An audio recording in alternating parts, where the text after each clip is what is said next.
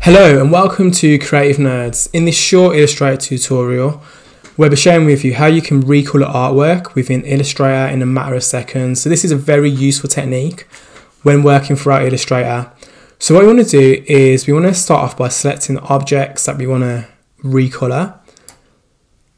And then we're going to head over to the recolor tool here and select recolor artwork and then this will bring up a dialog box will will give us the ability to change the colors so to change the colors all we need to simply do is just drag this dial around and we can change the, the color tone. So for instance we could change it to a nice pink or a blue if you wanted to.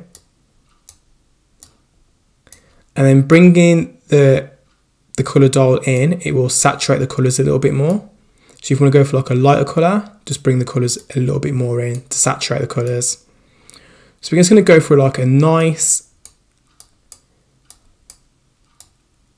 a nice purple. I think that looks really good. And what we can even do if we wanted to, we can change the colour by double clicking on it and we can add in our own specific hexadecimal code and that will replace any colour that contains that, that tone of purple with a different colour.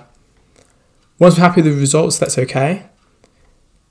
And and there you go, we've changed the colour tone within Illustrator in a matter of seconds. This is a great tutorial for recoloring artwork in Illustrator. Thanks for watching and stay tuned to Creative Nerds for quick tips on how to use Illustrator.